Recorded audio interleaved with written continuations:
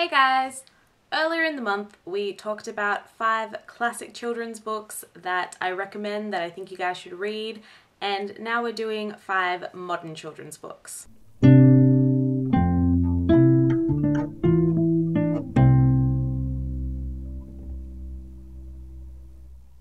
To start with, a book that I've talked about on my channel plenty of times, but it's been a little while and I want to refresh your memory on how great this is and how great the entire series is and that you really should get around to reading it. This is Theodosia and the Serpents of Chaos by R.L. LaFevers and it is the first book in the Theodosia series.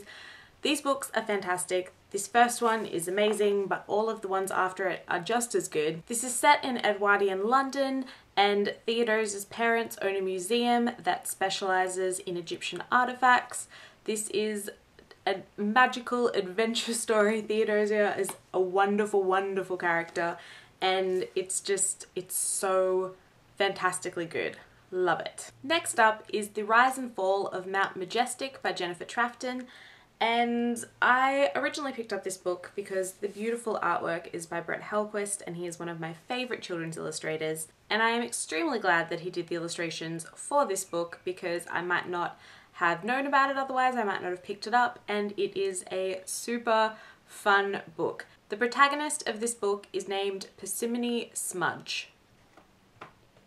That's all I need to tell you to sell you on this book, surely, because that is a wonderful name and this is another sort of adventure story for children. It's funny, it's sweet, it has a lot of heart. I just really enjoyed reading this book. It is fantastic. Next up, one that is a little bit older, but I'm still going to call it a modern book. I think it was originally published in 1988.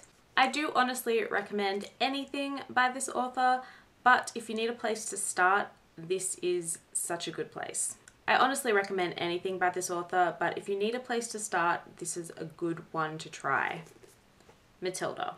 If you are a reader, this is a book for you. This is one of those magical children's books that just make you feel included in something. Any little bookish child in your life that just loves sitting for hours alone reading, this is a wonderful book to give them. That's not to say that someone who necessarily isn't overly into reading couldn't read and enjoy this book and then maybe get them more interested, but it definitely has that book for book lovers thing going for it. Matilda is a wonderful character.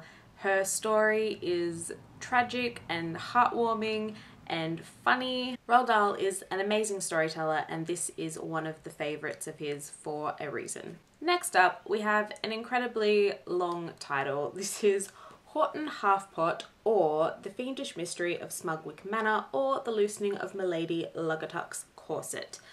This was hysterical. I completely fell in love with it when I was reading it. Horton Halfpott is a completely charming character. I love him. This has a bit of an upstairs, downstairs, Downton Abbey thing going on. Horton Halfpott works downstairs. The people he works for aren't necessarily particularly nice. There's a little bit of a love story in here which is very, very cute, very sweet.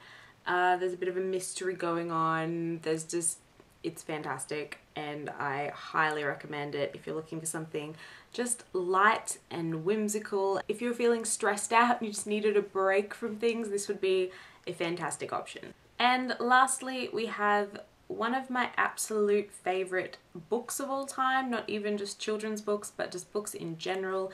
It is completely wonderful and it just speaks to me on so many levels. It has wonderful themes and ideas.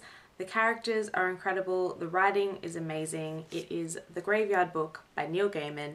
Neil Gaiman in general is wonderful, but The Graveyard Book is just something so, so special to me. I cannot get enough of this book. It is about a young boy called Nobody Owens, or Bod for short.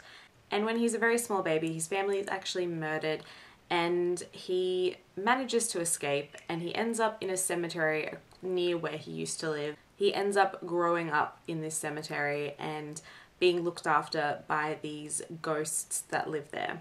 It sounds like a pretty weird premise, and it is, but it works so beautifully. Neil Gaiman has such an incredibly vivid imagination. His writing is incredible. There is literally nothing about this book that I don't love. It is just a joy to me. I Absolutely adore it from start to finish. Bod is such an incredibly sweet character despite his slightly odd upbringing and it's just, it's so good. It's so good. You have to read this if you haven't, especially if you're a Neil Gaiman fan and haven't got around to this yet. Get on it because you will love it. Okay, that's it for today, guys. Those were my five recommendations for contemporary children's books. Not all of them are set in contemporary periods, but uh, all of them were written far more recently than the other children's books that I recommended earlier in the month. If you've read any of these, be sure to let me know what you thought of them. I hope you enjoyed this, thank you for watching, and I'll see you soon.